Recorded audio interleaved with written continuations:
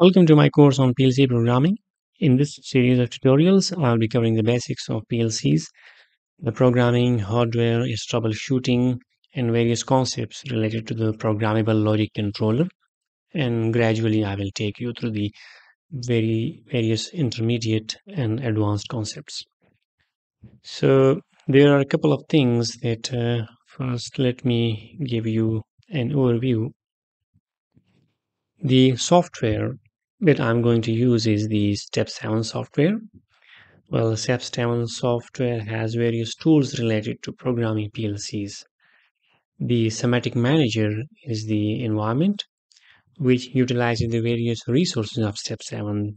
That is to program PLC, to have the hardware configuration of the PLC, and to have the network configuration of the PLCs. So all these resources of Step 7 are utilized by the SIMATIC Manager. So we will have an introduction to SIMATIC Manager. We will be using the step 7. Well, the PLC hardware, how to wire the PLC hardware and how to configure the hardware of the PLC in our SIMATIC Manager software. The PLC that I will be using will be Siemens S7 PLC, right?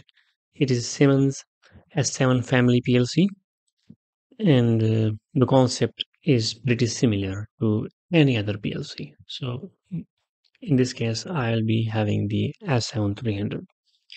Well, to put the PLC into run mode and to observe its behavior, its processing, I'll be using a PLC simulator.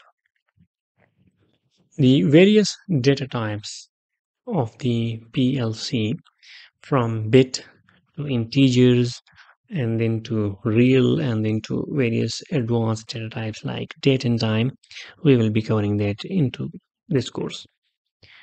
The various basics uh, of the plc such as scan time the various blocks organization block function block function call interrupts well i'll be covering that.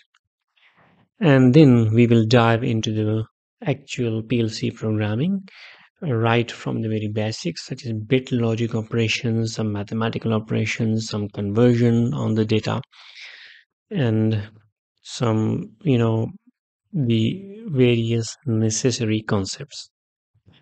And uh, as we go to the course, we will troubleshoot and diagnose various faults that has been faced by PLCs. So how to troubleshoot that, for example, if you are in in a project or you have or you're facing some problems related to PLCs, various faults, if you are encountering that, well, you have to diagnose these faults and then you have to put the PLC back into run mode in order to get the process running. And definitely we will have some projects, some example projects so that you can better understand the functionality of a PLC.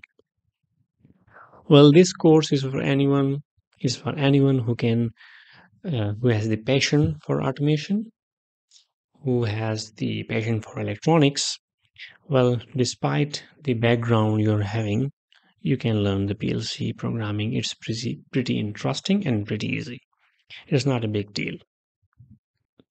So at the end of the course you will be able to program plcs diagnose various faults related to plcs troubleshoot it and make some real world projects that will make you feel good about the real world projects that you are going to perform with the PLC programming. So that was the overview of my course and uh, see you in the next video.